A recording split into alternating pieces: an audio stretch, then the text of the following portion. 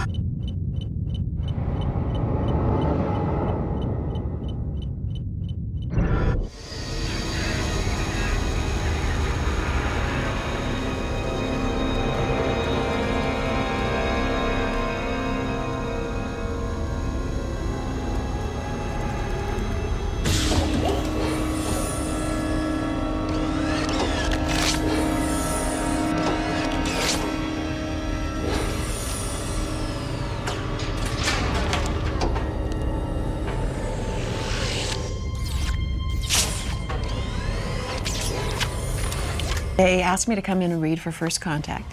And I read the sides, and I, read, I think I may have read the, the uh, script, but I'm not sure. And uh, what do you create? What do you create when you're reading this, this all-powerful being um, that's disembodied? And how do you go in and read a scene that's about disembodiment? And it's not about disembodiment, but you're physically disembodied. And I think I must have just embarrassed the heck out of myself because I kind of tried to create sort of a floaty thing with my body and I have no idea if it came across at all. But I think Jonathan probably, as I left the room, just wondered what the heck that was. but so I didn't get the part, and um, and then um, I don't know how many years later, um, they bring the character back for Voyagers episode of Dark Frontier, and um, they have me come in, and I. I wonder why Alice isn't available.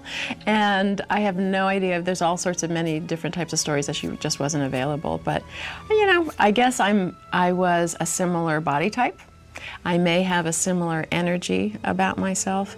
I certainly don't have the accent, and I thought she created an amazing character in First Contact. So I used that sort of as a, as a um, springboard into what I brought into the audition, and uh, they cast me.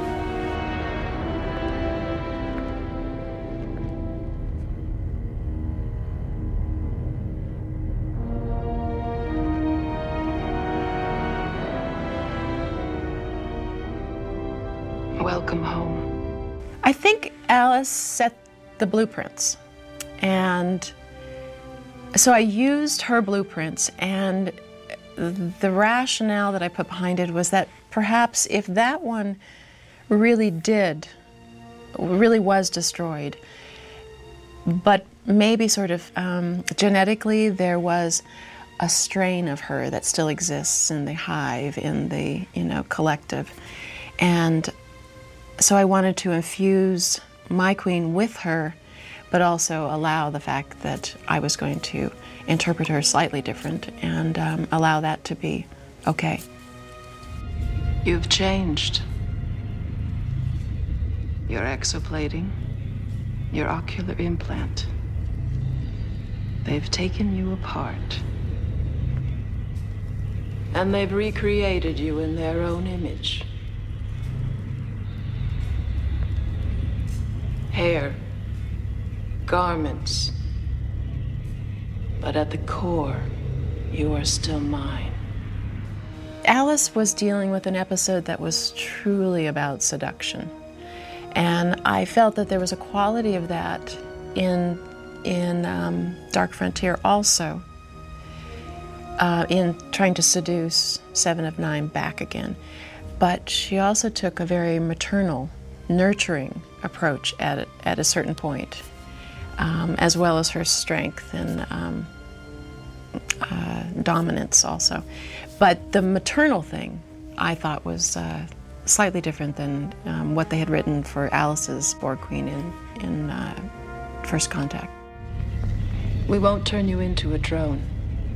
You're much too valuable to us with your individuality intact.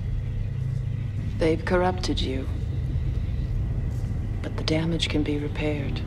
Jeri definitely gave me some moral support and physical support. Uh, it was my first experience in the Borg Queen outfit and and the contacts and the shoes and the makeup and those type of hours.